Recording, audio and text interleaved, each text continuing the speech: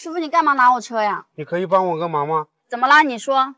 那个是我的车，昨天晚上我停在那里，今天早上就没电了。那怎么办？我没有带搭电宝，也没有带拖车绳。不用不用，你下来帮我推一下就好了。就我们两个人吗？对，你坐上，你挂档，我来推。试一下吧，应该推不着。把钥匙打开，挂三档，踩离合器，推吧。不行，速度太慢了。师傅加油！放离合器。不行，这个速度太慢了。你车上有没有绳子？我给你拖。有，刚好有一根。给你把伞，你看这绳子可以吗？这绳子不行，一拖就断了。哎，这下麻烦了，我再去路口叫一个人帮忙推吧。不用，用这根绳子也可以把车打着。先用千斤顶把车顶起来，顶一个轮胎离地就可以了。看车主的表情，他不相信我，他又去路边教其他人。把方向往左边打死。用绳子把轮胎一圈一圈的绕起来，这样就可以了。把钥匙打开，挂三档。师傅，快点回来！那些人都不停车。现在只需要拉这根绳子，发动机就能打着了。哦，来，你试一下。速度太慢了，再来一次。三二一，拉！打着了，打着了。哎，真的打着了。你是干什么的？我是修车的呀，怪不得这么厉害。我这车有点耗油，有时候排气管还冒很大的烟，这个是什么毛病啊？这个原因有很多，你要开到我修理厂慢慢检查。那算了，你检查出来又得一大笔钱。你平时只要保养做得好，发动机一般是不会坏的。我保养的呀，我都是五千公里换一次机油。你有没有清理过积碳？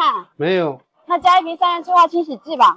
这个就是三元催化清洗剂，直接加在油箱里面，然后把油加满。你那个车十年了，大概要加三瓶以上。那你帮我看看有没有积碳？行，我用内窥镜帮你看一下。把氧传感器拆掉。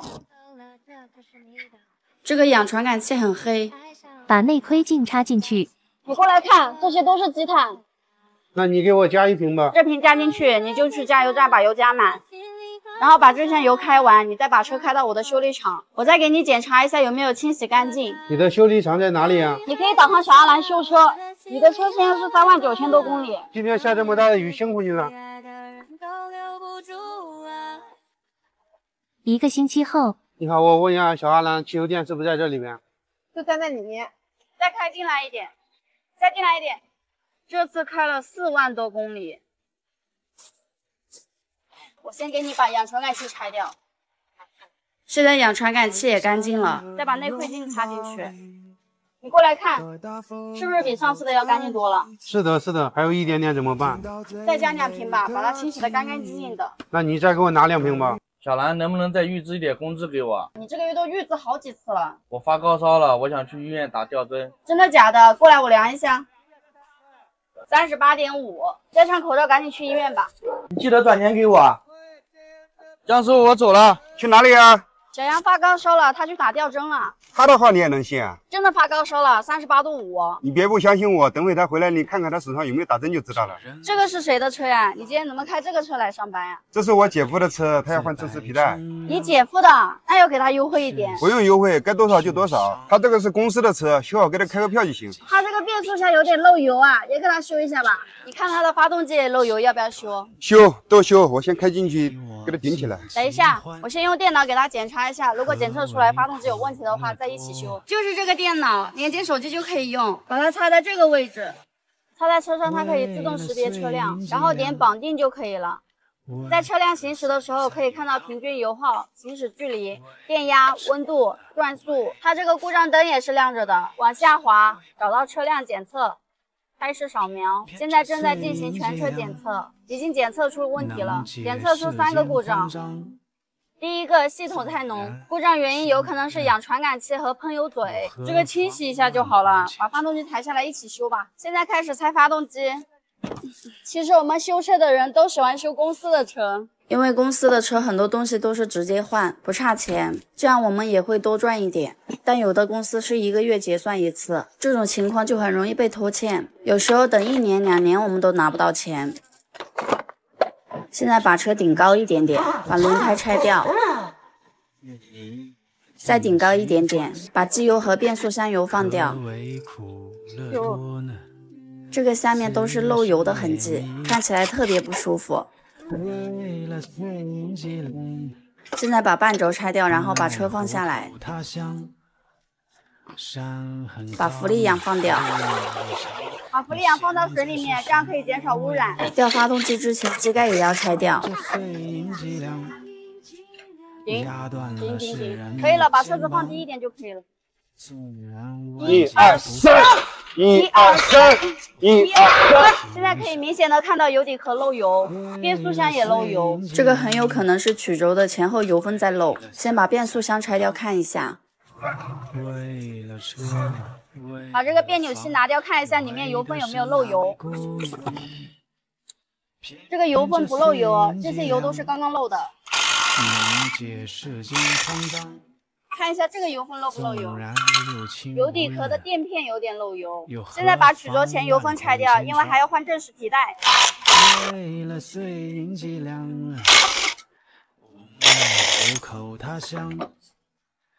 这个发动机以前我没有修过，我要先把正时记号找到，再拆皮带。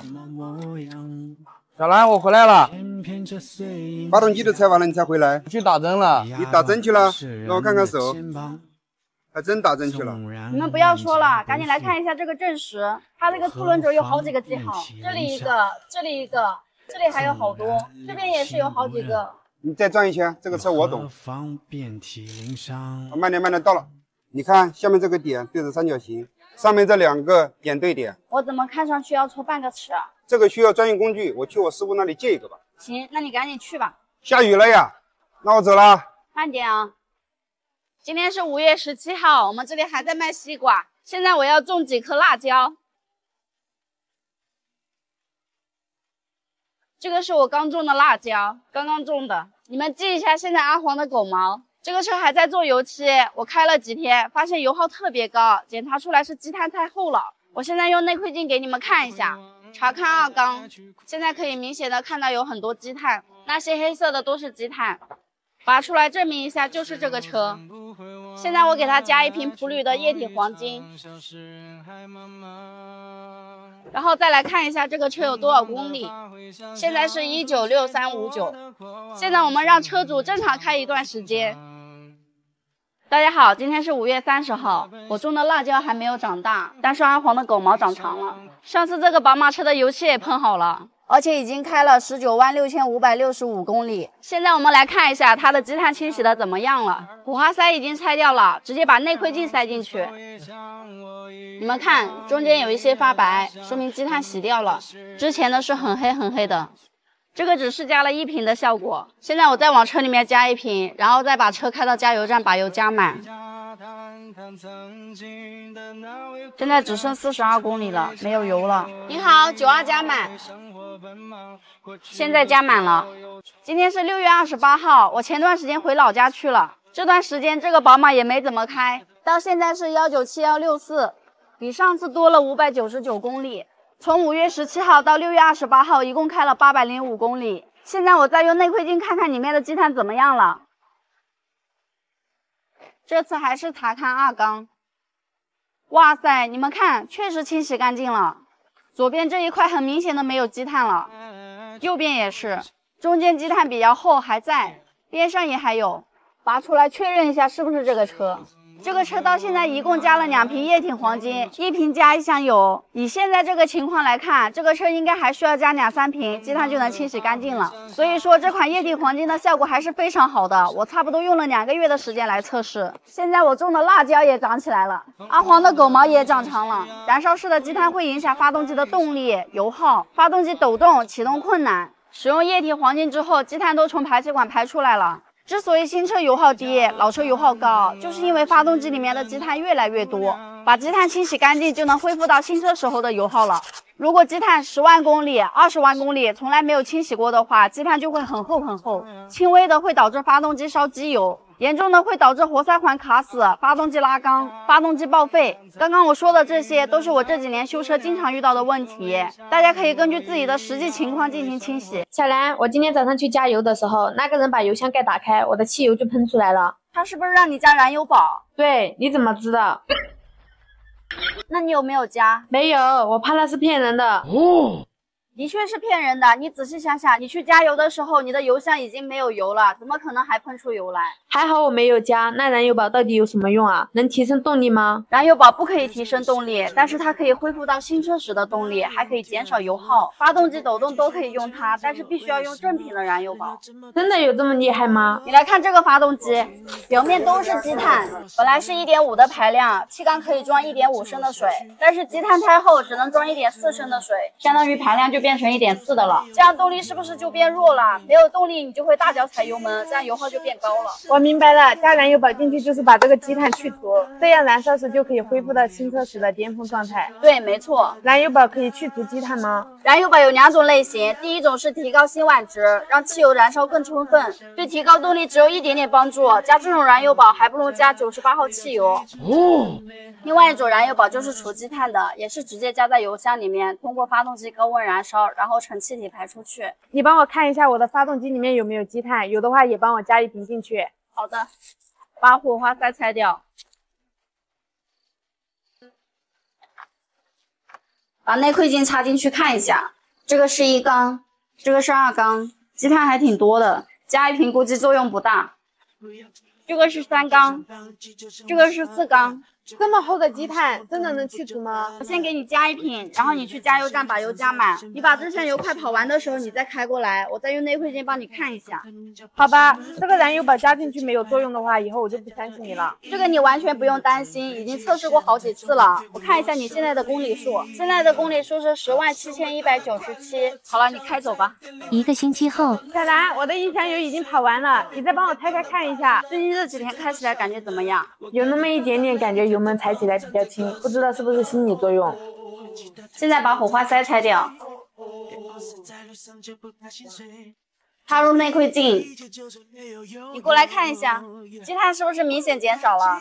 这里还有好多黑点没有去掉呀。你这个要慢慢来，你这个积碳这么厚，肯定是要多加几次的。这个是第二缸，积碳明显减少了。这个是第三缸，再看看第四缸。四个缸都差不多。前面那个就是我表弟的车，你女朋友不是和你一起来的吗？对呀，我轮胎陷进去，他就走了。你这个往前开肯定是开不出来的，往后倒试一下吧。先发动，踩离合器，挂倒档，油门踩到底，快速放离合器。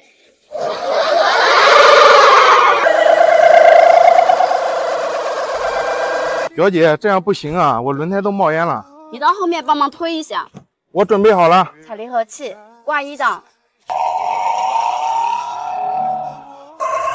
不行不行，再这样我轮胎都要报废掉了。你不用担心，我会给你弄好的。把轮胎的气放掉，这样抓地面积就会更强。现在轮胎已经没气了。表弟，你也到车上坐着。车身越重就越不容易打滑。表姐，这样不行，我们还是找一个拖车吧。我还有一个办法，肯定能把车开出来。用千斤顶把车顶起来，轮胎要离地。表姐，你这个千斤顶能顶这么高？你去找一点石板砖头过来。表姐，这个可以吗？把它塞到下面去吧。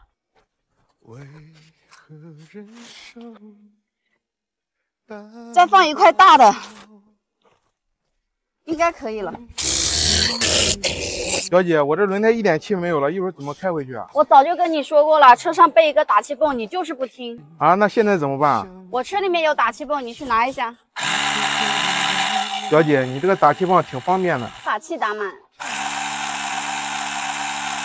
打到二点五公斤它会自动停。这个打气泵打的好快啊！可以了，表弟上车，下次不要带女朋友来这边玩了。